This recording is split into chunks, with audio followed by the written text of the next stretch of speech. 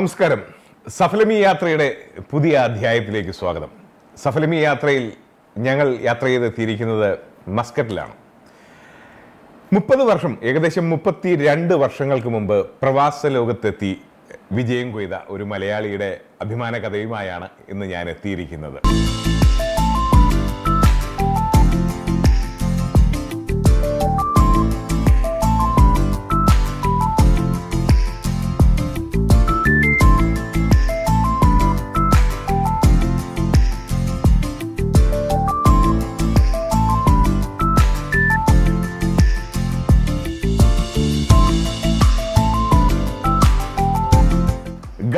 Resource എന്ന കമ്പനിയുടെ director Joseph C ലോത്ത്. സർ നമസ്കാരം. നമസ്കാരം. ഒരു വലിയ ബിസിനസ് സംരംഭകനാണ് എന്റെ മുന്നിലിരിക്കുന്ന തോന്നൽ പോലും എനിക്കില്ല. അത്ര വളരെ എന്താണ് സരസമായാണ് അങ്ങയുടെ ഒരു ആറ്റിറ്റ്യൂഡ് ഞാൻ മനസ്സിലാക്കിയത്. അത് എന്താണെന്ന് പ്രേക്ഷകർക്ക് ഇനി മനസ്സിലാവും. നമുക്ക് സാറിന്റെ ഒരു വിജയ കഥകളിലേക്ക് വരുന്നതിന് മുമ്പ് നമുക്ക് ഈ ഞാൻ തുടക്കത്തിൽ പറഞ്ഞല്ലോ മുപ്പത്തിരണ്ട് വർഷം മുൻപുള്ള ഒരു പ്രവാസ ജീവിതം. എനിക്ക് അതിനു മുൻപുള്ള കുട്ടിക്കാലത്തേക്ക് ഞാൻ അങ്ങ് ഒന്ന് ക്ഷണിക്കുകയാണ്. അങ്ങയുടെ കുട്ടിക്കാലമൊക്കെ എങ്ങനെയായിരുന്നു? കുട്ടിക്കാലം എന്താ പറയുക സാധാരണ എല്ലാവരുടെയും പോലെ തന്നെ ആയിരുന്നു. പ്രത്യേകിച്ച് വ്യത്യാസങ്ങളൊന്നും ഉണ്ടായിരുന്നില്ല. കുട്ടിക്കാലത്തിലേക്ക് നോക്കുമ്പോൾ ഇന്നത്തെ പോലെയുള്ള സൗഭാഗ്യങ്ങളോ അതുപോലെയുള്ള ആധുനിക സജ്ജീകരണങ്ങൾ ആധുനിക സജ്ജീകരണങ്ങളൊന്നും അന്നുണ്ടായിരുന്നില്ല അന്ന് നമ്മൾ കളിച്ചിരുന്നതൊക്കെ എന്താണ് കുട്ടിയും കോലും കുട്ടിയും കോലും. അതൊക്കെ ആയിരുന്നു അന്നത്തെ കളികൾ പിന്നെ തലപ്പന്ത് കളി ഇതൊക്കെയാണ് അന്നത്തെ കളികൾ പിന്നെ ഊഞ്ഞാലാട്ടം. കളികളെ കുറിച്ച് പറഞ്ഞാൽ ആ രീതിയിലൊക്കെ ആയിരുന്നല്ലോ അന്ന്. ഇന്നിപ്പോ അതൊന്നും ഇല്ല. പിന്നെ അതെ ജീവിതം അധ്വാനിച്ച് ഉള്ള ഒരു ജീവിതം തന്നെ രാവിലെ അപ്പനും അമ്മയും എല്ലാം പറമ്പിലും അവിടെ ഇവിടെയൊക്കെ പണിയാനായിട്ട് പോകും നമ്മളിങ്ങനെ ഒരു സഞ്ചിയൊക്കെ തൂക്കിയിട്ടിട്ട് സ്കൂളിൽ പോകും. ഇതൊക്കെയായിരുന്നു ചെറുപ്പത്തിലെ ഓർമ്മകൾ അപ്പനും അമ്മയെ കുറിച്ച് പറഞ്ഞു. അപ്പോൾ അവർ അവരുടെ പേര്? എന്റെ അപ്പന്റെ പേര് ചാക്കോ. അദ്ദേഹം പട്ടാളത്തിലായിരുന്നു. പട്ടാളത്തിൽ നിന്ന് റിട്ടയർ ആയിട്ട് പിന്നെ കെ എസ് ആർ ടി സിയിൽ ജോലി ചെയ്തു. അവിടുന്ന് റിട്ടയർ ആയി ഇപ്പോൾ സുഖമായിട്ട് വീട്ടിൽ വിശ്രമജീവിതം നയിക്കുന്നു. നാട്ടിലുണ്ട്. അമ്മയുടെ പേര്? അമ്മയുടെ പേര് ഏലിയമ്മ. ഹൗസ് വൈഫ് തന്നെയാണ്. അന്നും ഇന്നും. ഒരു പട്ടാള ചിട്ടയിലൊക്കെ ആയിരുന്നു വളർന്നു വന്നത്? ആ ഒരു പരിധി വരെ ഉണ്ടായിരുന്നു. ഇന്നും അങ്ങനെ തന്നെയാണെന്ന് പറയാം. ഓ ഇന്നും അങ്ങനെ തന്നെയാണ്. ഓക്കെ അപ്പോൾ ഒരു വിദ്യാഭ്യാസമൊക്കെ വിദ്യാഭ്യാസം സ്കൂൾ കോളേജൊക്കെ എവിടെയായിരുന്നു? സ്കൂളിങ് ഞാൻ പല സ്ഥലത്തായിരുന്നു. ആദ്യം താമസിച്ചിരുന്ന സ്ഥലം കുറിച്ചിത്താനം എന്ന് പറയുന്ന നമ്മുടെ കെ ആർ നാരായണൻ പഠിച്ചിരുന്ന ആ സ്കൂളിലാണ് നാലാം ക്ലാസ് വരെ പഠിച്ചത്. അതിനുശേഷം കുറവലങ്ങാട് സെന്റ് മേരീസ് ബോയ്സ് ഹൈസ്കൂളിൽ അതിനുശേഷം പിന്നെ ഐ ടിയിൽ രണ്ട് വർഷം പഠിച്ചു. പിന്നെ കോളേജിൽ ഞാൻ പ്രൈവറ്റ് ആയിട്ടായിരുന്നു ഡിഗ്രി ഒക്കെ ചെയ്തത്. Parallel college parallel college parallel കോളേജിലാണ് ഡിഗ്രി ചെയ്തത്. പിന്നീട് അവിടുന്ന് ബോംബെക്ക് പോയി. ബോംബെയിൽ ഒരു വർഷത്തോളം ഉണ്ടായിരുന്നു. ബോംബെയിൽ എന്തായിരുന്നു അന്ന് ചെയ്തിരുന്നത്? ബോംബെയിൽ ഞാൻ അവിടെ എസ് എൽ വേൾഡ് എന്ന് പറയുന്ന ഒരു കമ്പനി ഉണ്ടായിരുന്നു. അവിടെ അവർ സ്റ്റാർട്ട് ചെയ്യുന്നു. ആദ്യമായിട്ട് ബോംബെയിൽ ഒരു അമ്യൂസ്മെന്റ് പാർക്കിന്റെ സ്റ്റാർട്ട് ചെയ്യുന്ന സമയമായിരുന്നു S L world S L world ആ സമയത്ത് അതിന്റെ ഇൻസ്റ്റലേഷൻ ടൈമിൽ ഞാനും അവിടെ ഉണ്ടായിരുന്നു. അപ്പോൾ അവിടെ കുറേ മലയാളി എഞ്ചിനീയേഴ്സ് ഒക്കെ ഉണ്ടായിരുന്നു. ആ കൂട്ടത്തിൽ എനിക്ക് ഒരു അവസരം കിട്ടി. ഏകദേശം ഒരു വർഷത്തോളം ഞാൻ അവിടെ സേവനം ചെയ്തു. അതിനുശേഷമാണ് മസ്കറ്റിലേക്ക് വരുന്നത്. ഈ പ്രവാസ ലോകത്തേക്കുള്ള ഒരു ആഗ്രഹം അല്ലെങ്കിൽ പ്രവാസ ലോകത്തേക്ക് വരാൻ എന്തായിരുന്നു അന്നത്തെ ഒരു ഇൻസ്പിറേഷൻ കാരണം? ബോംബെയിലേക്ക് ഞാൻ വരുന്നത് തന്നെ വിദേശത്തേക്ക് പോകണം എന്നുള്ളൊരു ആഗ്രഹത്തോടു കൂടിയായിരുന്നു. കാരണം അന്ന് ബോംബെ എന്ന് പറയുന്ന ഒരു ഹബ് ആയിരുന്നു. അതെ. വെളി പ്രദേശത്തേക്ക് പോകാൻ വേണ്ടിയിട്ട് ആൾക്കാരെല്ലാവരും ആദ്യമേ പോകുന്ന സ്ഥലം ബോംബെയാണ്. ബോംബെയിൽ നിന്നാണ് പിന്നെ മറ്റു സ്ഥലങ്ങളിലേക്ക് പോകുക അപ്പൊ അങ്ങനെ ഞാനും ഈ മനസ്സിൽ ആഗ്രഹം സൂക്ഷിച്ചുകൊണ്ട് തന്നെ ബോംബെയിൽ എത്തുന്നു ബോംബെയിലെത്തി ദൈവത്തിന്റെ അനുഗ്രഹം കൊണ്ട് ഒരു വർഷം കൊണ്ട് തന്നെ ഗൾഫിലേക്ക് പോരാനുള്ള ഒരു അവസരം കിട്ടി. അങ്ങനെ ഞാൻ ഇവിടെ എത്തുന്നു നയന്റിയിൽ ഒമാനിൽ തന്നെയാണോ ആദ്യമായിട്ട് ആദ്യമായിട്ട് ഞാൻ ഒമാനിലേക്കാണ് വന്നത്. അന്ന് വന്നിട്ട് ഒമാനിൽ എന്തായിരുന്നു അന്നത്തെ തുടക്കം അന്ന് ഞാൻ ഒമാനിൽ വരുന്നത് ഇവിടെ ഒമാനിൽ ആദ്യമായിട്ട് ഒരു അമ്യൂസ്മെന്റ് പാർക്ക് അന്ന് കൺസ്ട്രക്ട് ചെയ്യുന്നുണ്ടായിരുന്നു. അപ്പോൾ ഞാൻ അവിടെ അമ്യൂസ്മെന്റ് പാർക്കിലായിരുന്നത് കൊണ്ട് ഇവിടുത്തെ അമ്യൂസ്മെന്റ് പാർക്കിന്റെ ഇൻസ്റ്റലേഷനും അതിന്റെ മെയിന്റനൻസിനും വേണ്ടി ഫോർമാനായിട്ടാണ് ഞാനിവിടെ ഇവിടെ വരുന്നത്. നയന്റിയിൽ ആ അമ്യൂസ്മെന്റ് പാർക്ക് ഇന്നും? ഇന്നും നിലവിലുണ്ട്. റിയാം പാർക്ക് എന്ന് പറയും. ഇവിടെ കോർണീഷ് എന്ന് പറയുന്ന സ്ഥലത്ത് ഇന്നും ആ പാർക്ക് നിലവിലുണ്ട്. പാർക്ക് ഓടുന്നുണ്ട്. അപ്പോൾ അവിടെയാണ് ഞാൻ ആദ്യമായിട്ട് വരുന്നത്. അതിനുശേഷം പിന്നെ അവിടുന്ന് ലൈസൻസ് ഒക്കെ എടുത്തതിന് ശേഷം വിവാഹമൊക്കെ കഴിഞ്ഞ് ലൈസൻസ് എടുത്തു.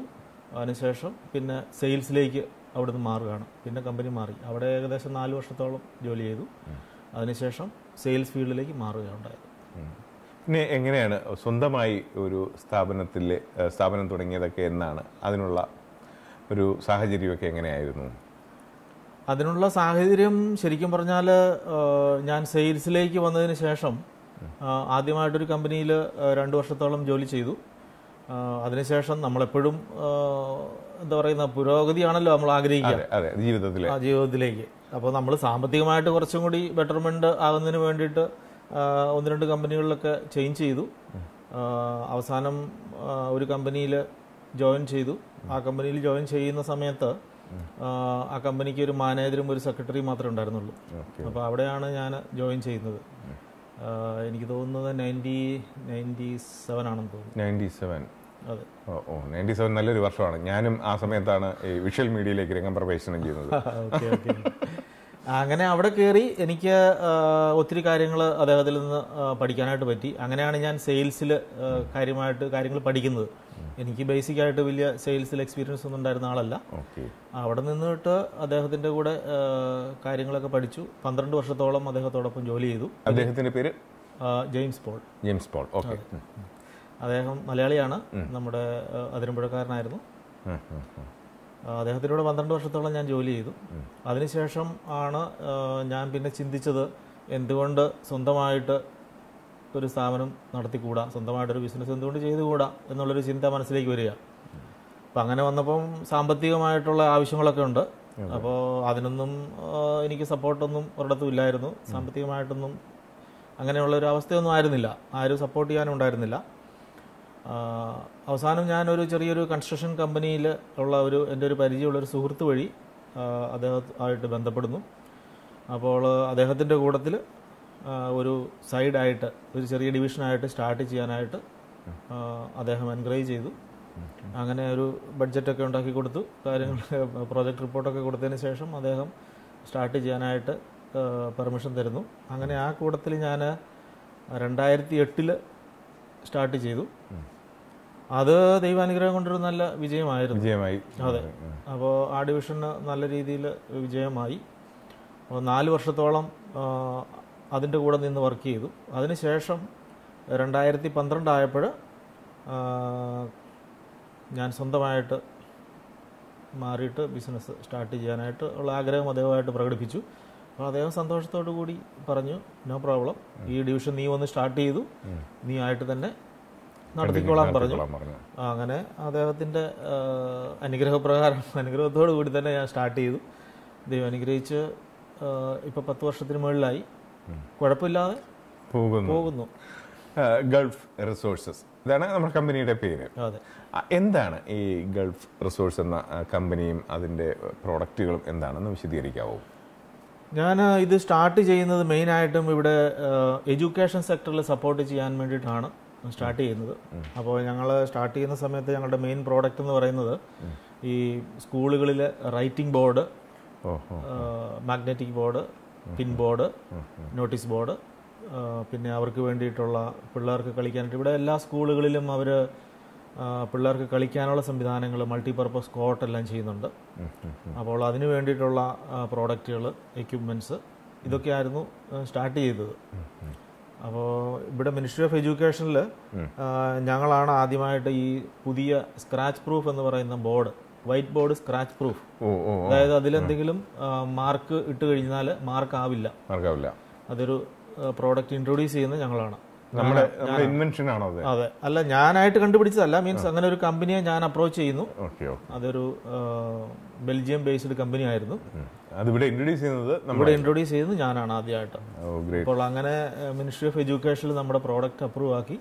അപ്പോൾ തുടർന്ന് എഡ്യൂക്കേഷന്റെ ഒരു സിംഹഭാഗവും ഞാൻ തന്നെയാണ് സപ്ലൈ ചെയ്തുകൊണ്ടിരിക്കുന്നത് അന്നും ഇന്നും.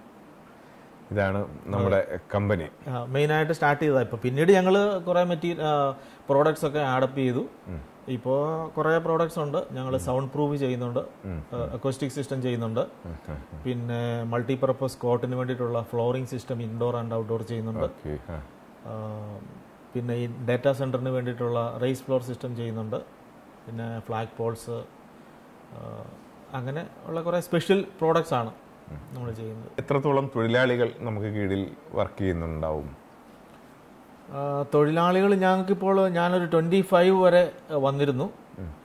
ഇപ്പോൾ ഈ കൊറോണ സമയം ആയപ്പോഴത്തേക്കും നോർമലി എല്ലായിടത്തും പ്രോബ്ലംസ് ഒക്കെ വന്നു. അപ്പോൾ ബുദ്ധിമുട്ടൊക്കെ വന്നപ്പം കുറച്ച് ആൾക്കാരൊക്കെ അങ്ങനെ ലോങ് ലീവിൽ വിട്ടു. പിന്നെ അവരങ്ങനെ കൂടുതൽ കുറച്ച് ആൾക്കാർ തിരിച്ചു വരാൻ പറ്റാതെയൊക്കെ അവിടെ അങ്ങനെ ഹെൽഡപ്പ് ആയി പോയി. പക്ഷേ ഇപ്പോൾ ഒരു പത്ത് ഇരുപത്തിരണ്ട് സ്റ്റാഫോളം ഒമാനി സ്റ്റാഫ് എക്സ്പാർട്ടേറ്റ് സ്റ്റാഫ് എല്ലാം കൂടെ കൂടി. ഒമാനിസും ഉണ്ട്. ആ ഉണ്ട്. എങ്ങനെയാണ് അവർ ഈ നമ്മൾ നാട്ടിൽ കേൾക്കുന്ന പോലെ ആണോ അതോ നല്ല വർക്ക് ഹോളിക്കാണോ ഇല്ല വർക്ക് ചെയ്യുന്ന ആൾക്കാരുണ്ട്. നന്നായിട്ട് വർക്ക് ചെയ്യുന്നവരുണ്ട്. പിന്നെ എല്ലായിടത്തും ഉണ്ടല്ലോ കുറച്ച് ഉഴപ്പായിട്ട് നടക്കുന്ന ആൾക്കാരും ഉണ്ട്. But they are also very good ഈ കൊറോണയെ കുറിച്ച് പറഞ്ഞല്ലോ സാർ ഈ കൊറോണ എന്ന് പറയുന്നത് നമ്മുടെ ലോകത്ത് മുഴുവൻ ഒരു പ്രതിസന്ധി കൊണ്ടുവന്ന ഒരു മഹാരോഗമാണ്. ആ ഒരു കൊറോണ സമയം എങ്ങനെയാണ് സാറിന്റെ കമ്പനി അതിജീവിച്ചത്? കൊറോണ സമയം അതിജീവിച്ചത് എങ്ങനെ എന്ന് ചോദിച്ചാൽ കൃത്യമായിട്ടൊരു ആൻസർ തരാനായിട്ട് എനിക്ക് പറ്റില്ല. പക്ഷേ എങ്കിലും മെയിനായിട്ട് ഞാൻ പറയുവാണെങ്കിൽ ഒരു ദൈവാനുഗ്രഹം എന്ന് മാത്രമേ എനിക്ക് പറയാൻ പറ്റൂ. ആ സമയത്ത് എനിക്ക് എവിടുന്നോ കുറച്ച് വർക്കുകൾ ഉണ്ടായിരുന്നു. അപ്പോൾ മൂവ് ചെയ്യാൻ പറ്റില്ലായിരുന്നെങ്കിൽ പോലും ഞങ്ങൾ ലോക്കലായിട്ട് സബ് കോൺട്രാക്ടേഴ്സിനൊക്കെ വെച്ചിട്ട് ആ വർക്കൊക്കെ ചെയ്യിപ്പിക്കാനായിട്ട് പറ്റി. രണ്ടു വർഷത്തോളം ശരിക്കും മറ്റ് പ്രോജക്റ്റുകളൊന്നും അങ്ങനെ ഇല്ലായിരുന്നു വർക്കൊന്നും ഇല്ലായിരുന്നു. പക്ഷേ നമ്മളുടെ കമ്പനിയുടെ ഉണ്ടായിരുന്ന ആസ്തി കൊണ്ട് ഞാൻ വർക്കേഴ്സിനെല്ലാം മെയിന്റെയിൻ ചെയ്തു. കുറച്ച് ആൾക്കാർ ആ സമയത്ത് തൊഴിലാളികളെ തൊഴിലാളികൾക്കൊക്കെ ഞാനൊരു രണ്ട് മൂന്ന് മാസത്തോളം ഇവിടെ ഗവൺമെന്റ് ശരിക്കും സാലറി ഇല്ലാതെ തന്നെ മൂന്ന് മാസം അവധി കൊടുക്കാവുന്ന രീതിയിലൊക്കെ ഒരു സിസ്റ്റം ചെയ്തിരുന്നു. പക്ഷേ ഞാൻ അവർക്ക് ചെറിയൊരു ശതമാനം കുറച്ചുകൊണ്ട് ഞാൻ മൂന്ന് മാസം സാലറി കൊടുത്തു. സാലറി കൊടുത്തു. കൊടുത്തു. ബാക്കി എല്ലാ സമയങ്ങളിലും ഇതുവരെ ഒരു സാലറിയും കുറയ്ക്കാതെ ഫുള്ളായിട്ട് സാലറി ഒക്കെ കൊടുത്ത് വർക്കേഴ്സൊക്കെ ഹാപ്പി ആയിട്ട് തന്നെയാണ് അത് ഒരു വലിയ കാര്യം. വലിയൊരു സന്തോഷമാണ്. ആ ഒരു സമയത്തെ തൊഴിലാളികളെ സംരക്ഷിച്ചതാണ് ഏറ്റവും വലിയ തീർച്ചയായിട്ടും. തൊഴിലാളികളാണ് നമ്മുടെ പ്രസ്ഥാനത്തിന്റെ ഏറ്റവും വലിയ വിജയം. അവർക്കൊരാവശ്യം വരുമ്പോൾ നമ്മളല്ലേ അവരെ സപ്പോർട്ട് ചെയ്യേണ്ടത് അപ്പോൾ ആ രീതിയിൽ നമ്മൾ അവരെ സപ്പോർട്ട് ചെയ്തു. അവർ എന്നെയും സപ്പോർട്ട് ചെയ്യുന്നു തിരിച്ചതുപോലെ തന്നെ. ഇവിടുത്തെ ഒരു സംരംഭകർ എന്ന രീതിയിൽ ഇവിടുത്തെ ഒരു ഗവൺമെന്റിന്റെ ഒരു സപ്പോർട്ടൊക്കെ എങ്ങനെയാണ്? പൊതുവേ നമ്മുടെ നാടുമായിട്ട് ഒന്ന് വിലയിരുത്തുകയാണെങ്കിൽ.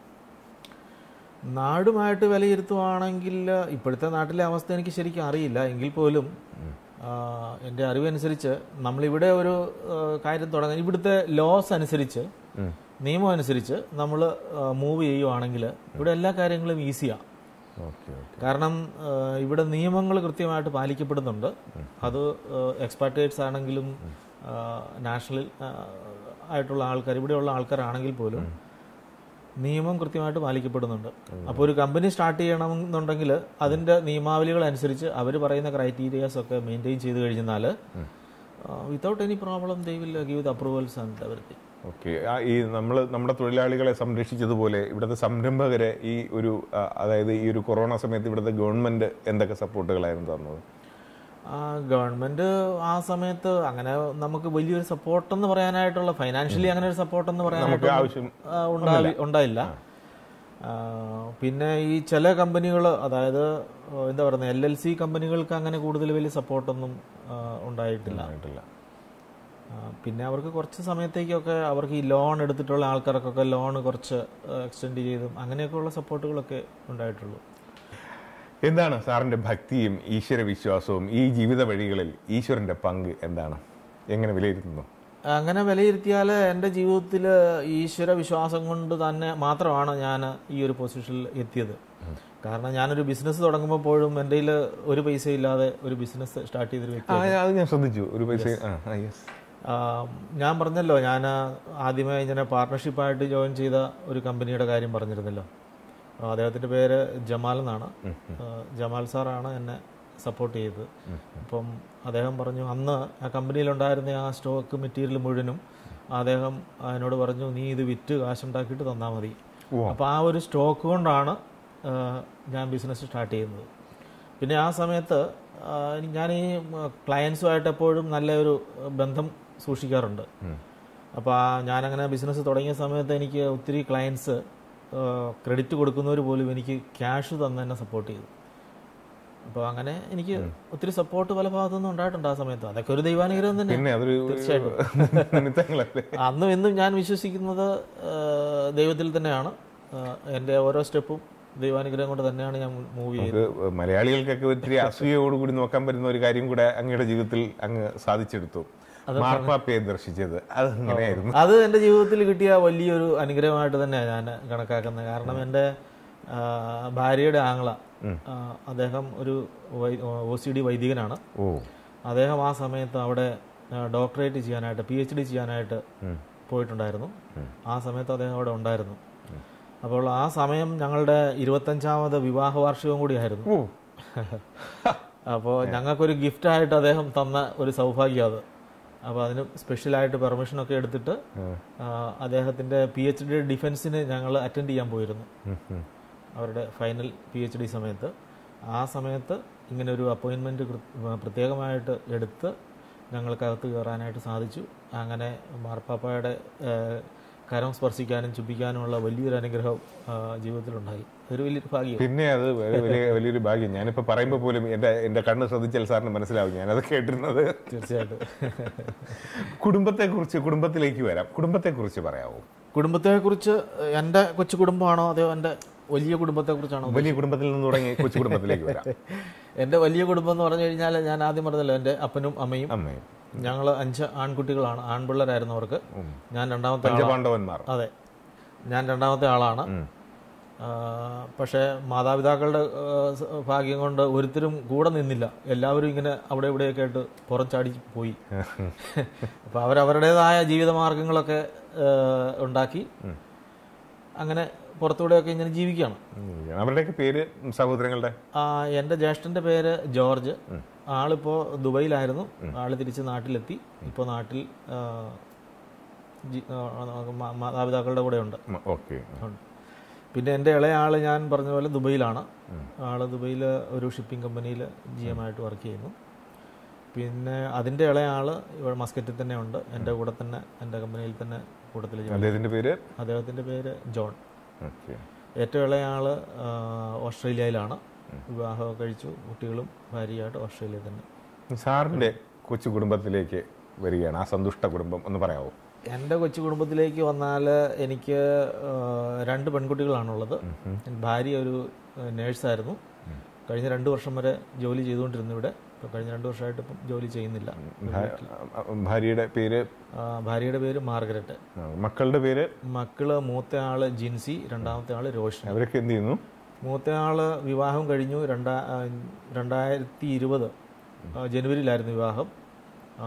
ദുബൈയിലുണ്ടായിരുന്നൊരു പയ്യനായിരുന്നു വിവാഹം കഴിച്ചത്. ഇപ്പോൾ രണ്ടുപേരും കൂടി ഓസ്ട്രേലിയയിൽ സെറ്റിലായി. സെറ്റിലായിരിക്കുന്നു. അവർ ഇൻഫോസിസിന്റെ സ്റ്റാഫായിരുന്നു. അപ്പോൾ ഇൻഫോസിസുകാർ കൊണ്ടുപോയതാണ് ഓസ്ട്രേലിയ. അപ്പോൾ ഇപ്പോൾ അവരവിടെ സെറ്റിലായിരിക്കും. പിന്നെ അടുത്ത ആൾ? രണ്ടാമത്തെ ആൾ രോഷിനി.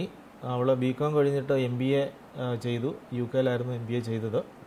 അതിനുശേഷം തിരിച്ചു വന്ന് ബാംഗ്ലൂർ എക്സൽ ക്യാറ്റൽ എന്ന് പറയുന്ന ഒരു ഇൻഷുറൻസ് കമ്പനിയിൽ ജോലി ചെയ്തുകൊണ്ടിരിക്കുകയായിരുന്നു. ആ സമയത്താണ് കൊറോണയുടെ ലോക്ക്ഡൗൺ ഒക്കെ വരുന്നതും ഞങ്ങൾ പുള്ളിയെ തിരിച്ച് ഇങ്ങോട്ട് കൊണ്ടുവരുന്നു. പക്ഷേ ലോക്ക്ഡൗൺ ഇങ്ങനെ നീണ്ടുപോയത് കാരണം അദ്ദേഹത്തിന് തിരിച്ചു പോകാനായിട്ട് പറ്റിയില്ല. അപ്പോൾ പിന്നെ ആ ജോലി ഉപേക്ഷിക്കേണ്ടി വന്നു. ആ, ഉപേക്ഷിച്ചിട്ട് ഇപ്പോൾ എന്റെ കൂട്ടത്തിൽ നമ്മുടെ കമ്പനിയിൽ. എന്റെ കമ്പനിയിൽ നമ്മുടെ കമ്പനിയിൽ തന്നെ ജോലി ചെയ്യുന്നു. ഫൈനാൻസ് ഒക്കെ ആൾ തന്നെയാണ് കൺട്രോൾ ചെയ്യുന്നത്. എങ്ങനെയാണ് ഇനി അടുത്ത ഭാവിയിൽ കമ്പനി കമ്പനിയിലെ സ്വപ്നങ്ങളും ഒക്കെ എങ്ങനെയാണ്? അങ്ങനെ വലിയ സ്വപ്നങ്ങളെന്ന് പറയാനില്ല. എന്റെ സ്വപ്നം ഇതായിരുന്നു. എനിക്കൊരു കുറച്ച് ആൾക്കാർ ഞാൻ മൂലം കഴിയുന്ന ഒരു അവസ്ഥ ഉണ്ടാവണം. എനിക്ക് അങ്ങനെ ഒരു കുറച്ച് ആൾക്കാരെ സപ്പോർട്ട് ചെയ്യാൻ പറ്റുന്ന ഒരു അവസ്ഥ ഉണ്ടാവണം എന്നൊരു ആഗ്രഹം ഉണ്ടായിരുന്നു. അപ്പം അങ്ങനെ അതുകൊണ്ടാണ് ഞാനിത് കൂടുതലായിട്ട് സ്റ്റാർട്ട് ചെയ്തത്. ഇപ്പോൾ ഇത്രയും കുടുംബത്തിന് തുണയാവുക തുണയാവാനായിട്ട് സാധിക്കുന്നു. പിന്നെ ഒരുപാട് വലിയ കമ്പനി ആക്കാനായിട്ടും ഒത്തിരി വലിയ പ്രസ്ഥാനമാക്കണമെന്നൊന്നും എനിക്ക് അങ്ങനെ വലിയൊരു ആഗ്രഹമൊന്നുമില്ല. കാരണം അതിന് ഒത്തിരി ഫണ്ടിന്റെ ആവശ്യങ്ങളും ഒരുപാട് പ്രശ്നങ്ങളുണ്ട്. അപ്പം അതുകൊണ്ട് അങ്ങനെ ഒരു ആഗ്രഹമില്ല ഉള്ളത് പറ്റുന്നിടത്തോളം കാലം നല്ല രീതിയിൽ നടത്തിക്കൊണ്ട് പോവുക. ബുദ്ധിമുട്ടൊന്നും ഇല്ലാത്ത രീതിയിൽ ആൾക്കാരെ സേവിക്കുക. അതൊക്കെയാണ് ആഗ്രഹമുള്ളൂ. ഇന്നത്തെ ഒരു ന്യൂ ജനറേഷൻ. ന്യൂ ജനറേഷൻ വളരെ കഴിവുള്ളവരായിട്ടാണ് നമ്മൾ കാണുന്നത്. കാരണം നമ്മുടെ ന്യൂ ജനറേഷൻ അവരുടെ കഴിവുകളെ എങ്ങനെ വിലയിരുത്തുന്നു? ന്യൂ ജനറേഷനെ കുറിച്ച് എന്താണ് പറയാനുള്ളത്? അവരുടെ സാധ്യതകളെ കുറിച്ച്. പറയുന്നതിൽ വിഷമമുണ്ട്. നമ്മുടെ യുവാക്കൾ നല്ലൊരു ശതമാനവും മടിയന്മാരായിട്ട് മാറിയിരിക്കുക ഇപ്പോൾ അതിന്റെ കാരണം എന്താണെന്ന് ചോദിച്ചാൽ കൃത്യമായിട്ട് എനിക്ക് അതിന്റെ ഒരു അവർക്ക് സ്വപ്നങ്ങളില്ല അല്ലെങ്കിൽ ചെയ്യാൻ ഇടങ്ങളില്ല. സംരംഭം അവർക്ക് സ്വന്തമായിട്ട് നാട്ടിൽ ചെയ്യാൻ വേണ്ടിയിട്ട് ആരും സപ്പോർട്ട് ചെയ്യുന്നില്ല. സപ്പോർട്ട് ചെയ്യുന്നില്ല. ഇപ്പൊ യുവാക്കൾക്ക് ഐഡിയ ഉള്ള യുവാക്കളുണ്ട് ഒത്തിരി. ഇപ്പൊ എഞ്ചിനീയറിംഗ് ഒക്കെ കഴിഞ്ഞിട്ട് വരുന്ന ഒത്തിരി യുവാക്കൾ നല്ല ഐഡിയാസ് ഉള്ളവരുണ്ട്. നല്ല പൊട്ടൻഷ്യൽ ഉള്ള ആൾക്കാരുണ്ട്. പക്ഷെ ആ ആ, അവരുടെ ആ പൊട്ടൻഷ്യൽ എബിലിറ്റി യൂട്ടിലൈസ് ചെയ്യാൻ വേണ്ടി ഒരു സംവിധാനം നമ്മുടെ കേരളത്തിൽ ഇല്ല. ഈ ഒമാൻ എന്ന് പറയുന്ന രാജ്യത്ത് പുതിയ തലമുറയ്ക്ക് സാധ്യതകളുണ്ടോ? ഒമാനിലെ പുതിയ തലമുറയ്ക്ക് സാധ്യതകളുണ്ട്. കാരണം ഗവൺമെന്റ് അവരെ എയിം ചെയ്തുകൊണ്ടാണ് അവരുടെ മുന്നോട്ടുള്ള വിഷൻ ഓരോ കാര്യങ്ങൾ അവർ ചെയ്യുന്നത്. അവർക്കൊരു എയിമുണ്ട്. ഇത്ര വർഷം കഴിയുമ്പോൾ ഇത്ര യുവാക്കൾക്ക് ജോലി കൊടുക്കണം. ഓ ഇവിടുത്തെ ഗവൺമെന്റിന്? ഇവിടുത്തെ ഗവൺമെന്റിന് ഒരു നയമുണ്ട്. അപ്പം അത് അവർ അഡോപ്റ്റ് ചെയ്യുന്നുണ്ട് അവരത് നടപ്പിലാക്കുന്നുണ്ട്. നടപ്പിലാക്കിക്കൊണ്ടിരിക്കുക. ഇവിടെയുള്ള മലയാളികൾ ഉൾപ്പെടെയുള്ള അല്ലെങ്കിൽ ഇവിടെ വരുന്ന വിദേശികൾ ഉൾപ്പെടെയുള്ള ഒരു സമൂഹം ഇവിടുത്തെ രാജാവിനെ അല്ലെങ്കിൽ ഭരണാധികാരികളെ ഇത്രത്തോളം ഹൃദയത്തിൽ സ്ഥാനം കൊടുക്കുന്നത് എന്തുകൊണ്ടാണ്? അത് പറഞ്ഞ പറയ പറഞ്ഞു കേൾക്കത്തില്ലേ. നമുക്ക് give respect and take respect കാരണം നമുക്കിവിടെ ഒരു കുറവും വരുത്താതെ എല്ലാം തന്നോണ്ട് നമ്മളെ സംരക്ഷിക്കുന്ന ഒരു രാജ്യവും ഭരണാധികാരികളും എവിടെ ഉള്ളത് അപ്പൊ നമ്മൾ അവരെ സ്നേഹിക്കല്ലാതെ നമുക്ക് അവരെ എന്ത് ചെയ്യാൻ പറ്റില്ല സ്നേഹം. ഈ ജീവിത വിജയത്തിൽ ഭാര്യയുടെ പങ്ക് എന്താണ്? ഭാര്യ ബിസിനസ്സിലൊന്നും ഇൻട്രസ്റ്റ് ഒന്നുമില്ല പിന്നെ ഭാര്യയ്ക്ക് ആദ്യമായിട്ട് ഞാൻ ബിസിനസ്സിൽ ഇറങ്ങുമ്പം ഭയങ്കര വിഷമമുണ്ടായിരുന്നു ഉണ്ടായിരുന്നു. എന്താണ്? വിഷമം എന്ന് പറഞ്ഞാൽ ഞാൻ ആദ്യം ഒരു ചെറിയ ബിസിനസ്സിൽ ഒന്ന് കൈ വെച്ചായിരുന്നു. അത് എന്താണെന്ന് ഭാര്യ തിരിച്ചറിഞ്ഞു. അത് പൊള്ളി. അത് പൊള്ളിയിട്ട് ഞാൻ ആ കടം തീർക്കാൻ വേണ്ടിയിട്ട് ഞാനും ഭാര്യയും രണ്ടു വർഷം ജോലി ചെയ്യേണ്ടി വന്നു. ആ കടം തീർക്കാൻ. ഭാര്യയും കൂടെ അന്നും കൂടെ കൂടി അത്. അല്ല അതുകൊണ്ട് ആ വിഷമമുണ്ട്. കാരണം ഇനിയും ഇതുപോലെ ഒരു അംഗത്തിനുള്ള ബാല്യം ഉണ്ടോ എന്നുള്ള സംശയമൊക്കെ ഉണ്ട്. അപ്പോ ഞാൻ പറഞ്ഞു നീ ഭയപ്പെടണ്ട. നിന്റെ ഒരു പൈസയും പോകത്തില്ല. ഇപ്പോ ഞാൻ സമ്പാദിച്ചോളാം. രണ്ടും കൽപ്പിച്ച് അങ്ങ് ഇറങ്ങുക. അപ്പം നമ്മളൊരു ഒരു ജീവിതത്തിൽ എപ്പോഴും വിജയിക്കണമെങ്കിൽ നമ്മളൊരു റിസ്ക് എടുത്തെങ്കിലേ നമുക്ക് വിജയിക്കാൻ പറ്റുള്ളൂ. അല്ലേ? നമ്മൾ എപ്പോഴും നമ്മൾ ആരെങ്കിലും ഇങ്ങനെ സ്പൂൺ ഫീഡ് ചെയ്തുകൊണ്ടിരുന്നു കഴിഞ്ഞാൽ നമ്മൾ അവിടെ ഇരിക്കും. സ്പൂൺ ഫീഡ് മാത്രം കഴിച്ച് പോകത്തേ ഉള്ളൂ. അപ്പം നമ്മൾ റിസ്ക് എടുത്ത് നമ്മൾ ഇറങ്ങുമ്പോൾ നമുക്ക് അതിനുള്ള ഫലമുണ്ടാവും ഫലം ഉണ്ടാവും. അപ്പം നമ്മൾ ഒരിടത്ത് ചെന്ന് സ്റ്റക്കായി കഴിഞ്ഞാൽ അവിടുന്ന് എങ്ങനെ നമ്മൾ വെളിയിലേക്ക് ചാടണമെന്ന് നമ്മൾ സ്റ്റക്കായിട്ട് നിൽക്കുമ്പോൾ നമ്മൾ ചിന്തിക്കും. അപ്പോൾ നമുക്ക് പണ്ട് പറയത്തില്ലേ ഇപ്പോൾ ഒരു വാതിലടഞ്ഞാൽ ഒൻപത് വാതിൽ ദൈവം തുറന്നു തരും. അപ്പോൾ എന്റെ ജീവിതത്തിൽ അങ്ങനെ ഒരുപാട് അനുഭവങ്ങൾ ഉണ്ടായിട്ടുണ്ട്. എനിക്ക് ഏതൊക്കെ വാതിൽ അടഞ്ഞു കഴിഞ്ഞാലും എതിലെങ്കിലും മറ്റു വാതിലുകൾ എനിക്ക് തുറന്നു കിട്ടാറുണ്ട്. അപ്പോൾ ഞാൻ അതിൽ കൂടി ഞാൻ രക്ഷപ്പെടും. അങ്ങനെ ഒരു പ്രൊട്ടക്ഷൻ എനിക്ക് ദൈവം തരുന്നുണ്ട്. ഈ വഴികളിൽ ആരെങ്കിലും നന്ദിയോടെ ഓർക്കുന്നുണ്ടോ? ഏതെങ്കിലും പേരുകൾ ഈ വഴിയിൽ പോകുമ്പോൾ ചില പേരുകൾ മനസ്സിലിങ്ങനെ കുറിച്ചിട്ടിട്ടുണ്ട്. നന്ദിയോടെ ഓർക്കാവുന്ന പേരുകളൊന്ന് പറയാവോ? അവരൊന്ന് അറിയട്ടെ. എന്റെ ഫ്രണ്ട്സ് ആയിട്ടുള്ള വ്യക്തികളുണ്ട്. പിന്നെ ബിസിനസ് പരമായിട്ട് എന്നെ സഹായിച്ച വ്യക്തികളുണ്ട്. അപ്പം നന്ദിയോടെ തന്നെ അവിടെ ഓർക്കുന്ന ആൾ ഞാൻ പറഞ്ഞല്ലോ. ആദ്യമായിട്ട് തന്നെ എന്നെ ബിസിനസ്സിൽ എന്റെ ബിസിനസ്സിന്റെ ബാലപാഠങ്ങൾ പഠിപ്പിച്ച ജെയിംസ് പോൾ ജെയിംസ് പോൾ അദ്ദേഹത്തെ എനിക്ക് എന്റെ മനസ്സിൽ എപ്പോഴും കുറിച്ചിട്ടിരിക്കുന്ന ഒരു പേരാണ് പിന്നെ എനിക്ക് സ്വന്തമായിട്ട് ബിസിനസ് തുടങ്ങാനായിട്ട് എന്നെ സപ്പോർട്ട് ചെയ്തു തന്ന ജമാൽ സാറ്. ഇവർ രണ്ടുപേരും ബിസിനസ് രീതിയിൽ പിന്നെ അതല്ലാതെ എന്റെ ഫ്രണ്ട്സായിട്ട് പറയുകയാണെങ്കിൽ കുറേ വ്യക്തികളുണ്ട്. ഫ്രണ്ട്സായിട്ട് എന്നെ സപ്പോർട്ട് ചെയ്ത വ്യക്തികൾ ഒരു അനിൽ എന്ന് പറയുന്ന ഒരു ഫ്രണ്ടുണ്ട് മജീദ് എന്ന് പറയുന്ന ഫ്രണ്ടുണ്ട് നൌഷാദ് എന്ന് പറയുന്ന ഒരുപാട് ഫ്രണ്ട്സ് ഉണ്ട് അങ്ങനെ തന്നെ. ജീവിതത്തിൽ ഒത്തിരി യാ നമുക്ക് വേണ്ടി നന്മകൾ ചെയ്ത ഒത്തിരി വ്യക്തിത്വങ്ങളുണ്ട്. എല്ലാവരെയും നന്ദിയോടുകൂടി അന്നും ഇന്നും ഓർക്കുന്നു. എന്തായിരുന്നാലും നമുക്ക് വേണ്ടി മാറ്റിവെച്ച ആ കുറച്ച് സമയം ഈ ഒരു മണിക്കൂറുകൾ ഒരിക്കലും നഷ്ടമല്ല. കണ്ടിരുന്നവർക്കും കണ്ട് ചോദിച്ചിരുന്ന എനിക്കും നഷ്ടമല്ല. എന്തായിരുന്നാലും ഒരുപാട് വിജയങ്ങൾ അങ്ങയുടെ ജീവിത വഴികളിൽ അങ്ങയെ തേടി വരട്ടെ എന്ന് ഞങ്ങൾ ആശംസിക്കുകയാണ്. പ്രവാസ ലോകത്തേക്ക് കടന്നു വരുന്ന പുതിയ തലമുറയ്ക്ക് ഒരുപാട് എന്താണ് ശുഭ പ്രതീക്ഷ നൽകുന്ന ചില വാക്കുകളും അങ്ങയിൽ നിന്നുണ്ടായി. ഈ നാടിനെക്കുറിച്ച് അവർക്ക് സ്വപ്നങ്ങൾ വെച്ച് പുലർത്താം എന്ന ഒരു നല്ല വാർത്ത കൂടെ അങ്ങ് നമുക്ക് നമ്മുടെ പുതിയ തലമുറയ്ക്കായി പകർന്നു നൽകി. പുതിയ തലമുറ വരുന്നവർ വളരെ കഠിനാധ്വാനം ചെയ്യാനുള്ള ഒരു പരിശ്രമത്തോടു കൂടി ഇവിടെ വന്നു കഴിഞ്ഞാൽ തീർച്ചയായിട്ടും വിജയിക്കും എന്ന് തന്നെയാണ് അങ്ങയുടെ വാക്കുകളിൽ നിന്ന് എനിക്ക് മനസ്സിലാവുന്നത്. എന്തായിരുന്നാലും നല്ല വാക്കുകൾക്ക് നന്ദി. തുടർന്നും അങ്ങയുടെ കുടുംബത്തിലായിരുന്നാലും ബിസിനസ്സിലായിരുന്നാലും അങ്ങയുടെ തൊഴിലാളികൾക്കായിരുന്നാലും ആ കൊറോണ സമയത്ത് അവർക്ക് ശമ്പളം കൊടുത്ത് സഹായിച്ച ആ ഒരു വലിയ വലിയ മനസ്സിന് എന്നും ഇനിയും ഒരുപാട് ദൈവവിശ്വാസിയായ അങ്ങേക്ക് ദൈവം തന്നെ ഒരുപാട് ഉയർച്ചകൾ തരട്ടെ എന്ന് ആശംസിക്കുന്നു. നന്ദി. Thank you. നന്ദി.